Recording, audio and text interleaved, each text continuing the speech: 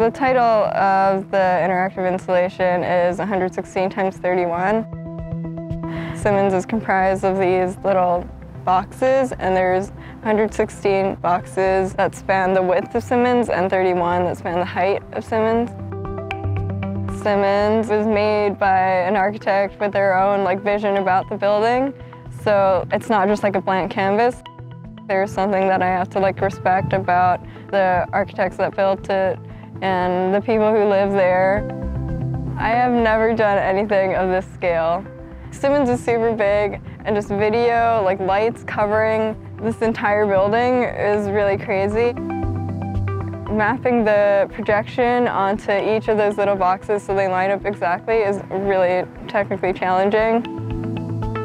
My name is Joshua Higgason. I'm a technical instructor in the Music and Theater Arts Department.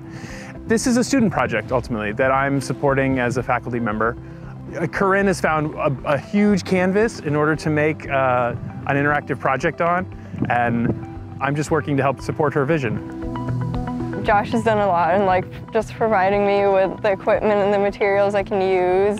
He's such a valuable resource to me because anything, like whenever I have a question, I'll just ask him and he'll just, he'll just immediately have a solution. A lot of projection mapping shows, it's just like a video projected onto the building and you kind of just like sit and watch it.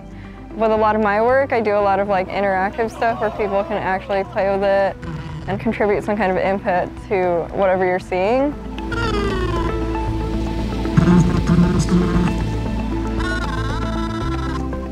Have a mic set up in the middle of Briggs Field and people are going to be able to come up to the mic and talk into the mic and that's going to affect the animation that you see on Simmons.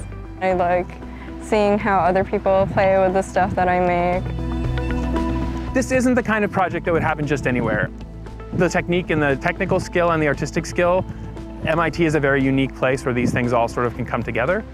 I think it's really an exciting way to feature some of this artwork in a big way and to share it with the community and to share the great work that we're doing here at MIT with people at large.